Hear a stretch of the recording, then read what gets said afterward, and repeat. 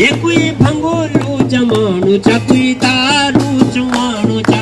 भंगोलो जमानु चा कोई दारू जुआनु चा। कोई चुप रही पितानु चा कोई बोल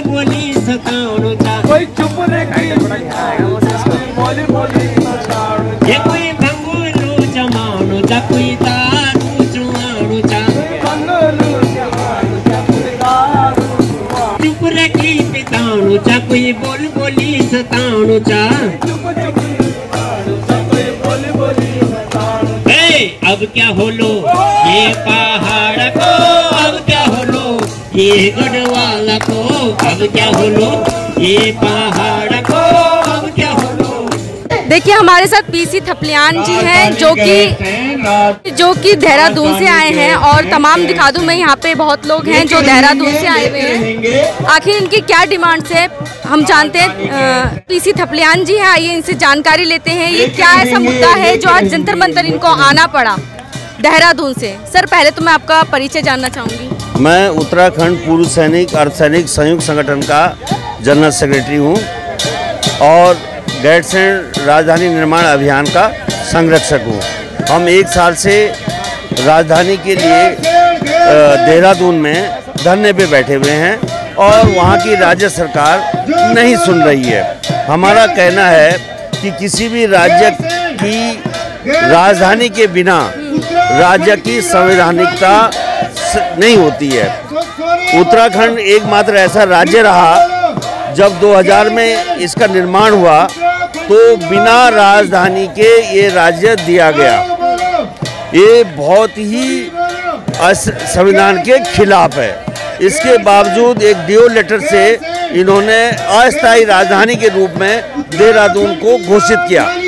और जबकि राज्य निर्माण का जो आंदोलन हुआ, उसमें लगातार ये डिमांड थी कि पार्वतीय राज्य की राजधानी पहाड़ में हो और उसमें जो उत्तर प्रदेश सरकार, तत्कालीन उत्तर प्रदेश सरकार ने कौशिक समिति का गठन किया था और कौशिक समिति ने गैरसैंण को घोषित किया था कि गैरसैंण इस राज्य की राजधानी होनी चाहिए। और उस समय उन्नीस सौ छियानवे में जब नेशनल फ्रंट सरकार थी तत्कालीन नेशनल फ्रंट सरकार ने जब उत्तर प्रदेश पुनर्गठन विधेयक उन्नीस सौ अट्ठानबे बनाया तो उसमें राजधानी गैरसैंण रखा हुआ था। लेकिन उसके बाद जब अटल बिहारी वाजपेयी जी की सरकार 2000 में आई तो उन्होंने उत्तर प्रदेश पुनर्गठन विधेयक 2000 का बनाया और उसमें राजधानी गायब कर दी। इस संसद सत्र भी चल रहा है तो आप लोग इस समय आए हैं। पहले भी आप लोग जिससे कि संसद सत्र चल रहा है तो आपको क्या लगता है कि आप लोगों की सुनवाई हो पाएगी? देखिए, अगर लोकतंत्र में इससे बढ़कर कुछ नहीं है, अगर आज हम यहाँ पे लोकतांत्रिक मांग को लेकर संसद की चौखट पे बैठे हुए हैं, ये मांग लेकर कि इस राज्य की स्थायी राजधानी का शीघ्र अतिशीघ्र घोषणा करो। सेंटर ऑफ़ द पावर होता है राजधानी और बिना स्थायी राजधानी के तुम इस राज्य को संचालित कर रहे हो ये तुम्हारे संविधान के खिलाफ है आप कह रहे हैं लगातार कितने कितने दिनों से धरने प्रदर्शन आप हमें एक? सवा साल हो गया देहरादून में लगा ये इसका डिमांड लगातार है लेकिन धरने पर हम सवा साल से बैठे हुए हैं और वहाँ की राज्य सरकार कुछ नहीं सुन रही है तो आप दिल्ली के जंतर भी आपकी अगर नहीं सुनी जाती? है केंद्र सरकार नहीं ऐसा है तो आप लोग आगे कुछ और भी आप लोग फिर हम जन आंदोलन करेंगे। हम पूरे उत्तराखंड में भ्रमण करेंगे। जनता को विश्वास में लेते हुए हम ये मांग करेंगे कि शीघ्र अतिशीघ्र राज्य की राजधानी गैरसैंण किया जाए। और अगर ये अनसुना करते हैं तो निश्चित रूप से वो लोकतंत्र के स्वास्थ्य के लिए ठीक नहीं है। तो आप लोग अभी कितनी संख्या में आप यहाँ आए हैं? हम लोग अलग अलग ज़िले के जनप्रतिनिधि यहाँ पे आ रखे हैं और एक ही बैनर के तले आए हैं। एक ही बैनर के तले आ रखे हैं और ये सब यहाँ पे बैठे हुए हैं। हम लोग इतने सक्षम नहीं है कि जो हम बसों में भर कर यहाँ पे आते हम लोग आंदोलनकारी हैं और अपने अपने जिलों का प्रतिनिधित्व हमने यहाँ पे रखा हुआ है और दिल्ली के लोग भी यहाँ पे हमारे समर्थन में आ रहे हैं। तो अगर आपने बताया जिस तरीके से कि अभी आपका मांग पूरा नहीं हुआ तो आप लोग आगे भी धरने करेंगे। हम निरंतर आंदोलन करेंगे और अगर इस लोकतांत्रिक मांग को निश्चित रूप से हम सरकार को झुका के रखेंगे।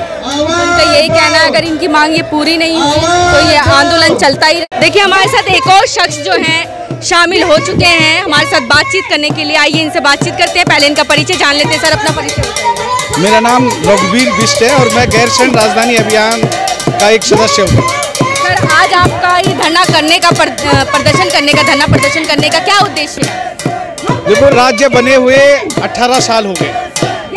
और स्वतंत्र भारत का ये पहला ऐसा अभागा राज्य है जिसकी अपनी राजधानी नहीं। हमारे साथ ही दो अन्य राज्य बने थे, छत्तीसगढ़ और झारखंड।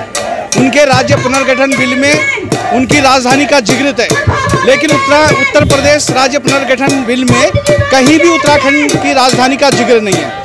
और आज तक 18 साल तक ये राजधानी असंवैधानिक रूप से चल रही है क्योंकि जो हमारे शहीदों ने जो आंदोलनकारियों ने अपनी शहादत दी थी वो गैरसैन राजधानी के लिए दी थी। और उसी मांग को लेकर के यहाँ पे हम देश के ऐतिहासिक जंतर मंतर पे एक दिवसीय धरना प्रदर्शन करके राज्य सरकार को भी और केंद्र सरकार को भी चेतावनी देना चाहते हैं कि अगर आपने शीघ्र ही गैरसैन अस्थायी राज, राजधानी का निर्माण नहीं किया तो ये बहुत बड़ा आंदोलन हम खड़ा करने वाले हैं। और भी आंदोलन बड़ा करेंगे कहाँ पे दिल्ली के जंतर मंतर ही करेंगे या कोई? ऑलरेडी देहरादून में हमारा तीन तीन महीने से पहले हमारा आंदोलन लगातार अनुवत रूप से चल रहा है और इसको हम जो है देहरादून से लेकर दिल्ली से लेकर के और पूरे उत्तराखंड के तेरह जनपदों में इस आंदोलन को ले जाएँगे और ये इतना उग्र आंदोलन हो रहा कि सरकार को घुटने टेकने पड़ेंगे।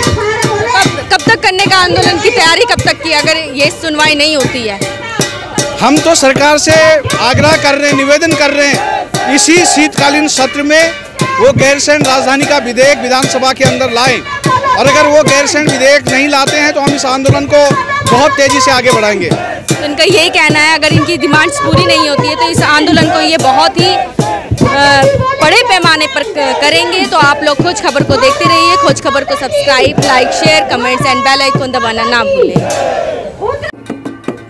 कलजुगी नारद के रूप में, देहरादून में किसी तरह का व्यंग्यात्मक जागर लगा करके वहाँ की राज्य सरकार और जनता को जगाने का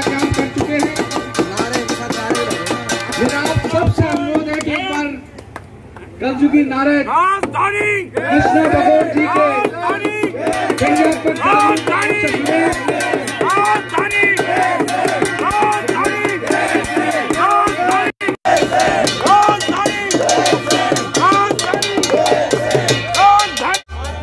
आपने ये पोशाक पहनी है।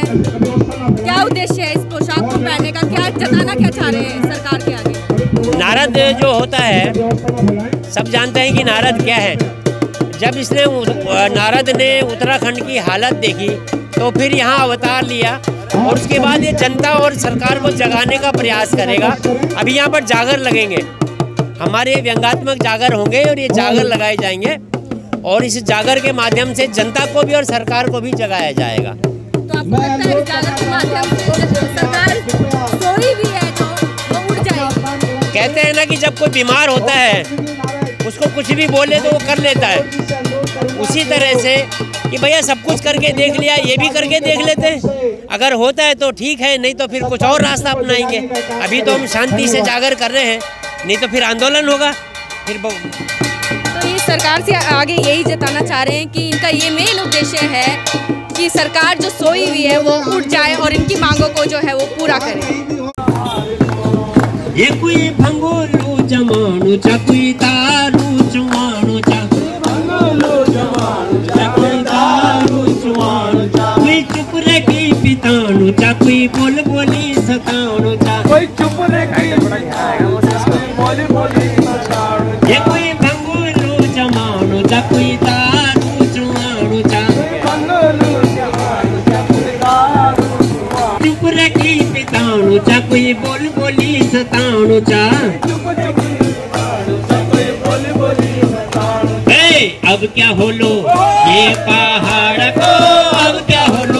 ये गढ़वाला को अब क्या बोलो?